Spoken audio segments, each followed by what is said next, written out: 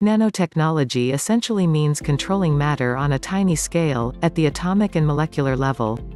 This sounds truly sci-fi, but can, in fact, be put to some very ordinary uses in surprisingly everyday products.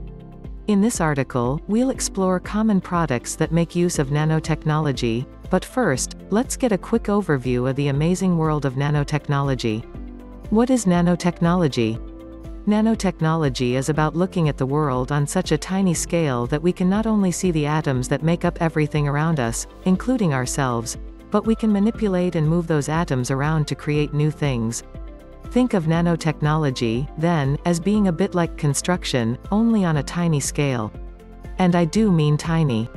The nanoscale is 1000 times smaller than the microscopic level and a billion times smaller than the typical world of meters that we're used to measuring things in.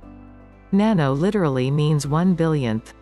If you took a human hair, for instance, it would measure approximately 100,000 nanometers wide. That's the sort of scale we're dealing with at a nano level. That's all very cool, I hear you say, but how does understanding this nanoscopic world impact, if you'll excuse the pun, the world at large? For one thing, when we zoom in and look at materials on an atomic level, we sometimes find they behave quite differently and have completely different properties at the atomic level. As a simple example, silk feels incredibly soft and delicate to the touch, but if you look at it at a nano level, you'll see it's made up of molecules aligned in cross links, and this is what makes silk so strong. We can then use knowledge like this to manipulate other materials at a nano level, to create super strong, state-of-the-art materials like Kevlar. This is where the technology bit of nanotechnology comes in, using our knowledge of materials at a nano level to create exciting new solutions and products. Everyday products that use nanotechnology Nanotechnology may seem like something out of the future, but in fact, many everyday products are already made using nanotechnology.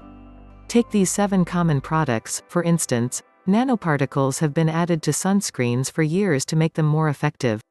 Two particular types of nanoparticles commonly added to sunscreen are titanium dioxide and zinc oxide.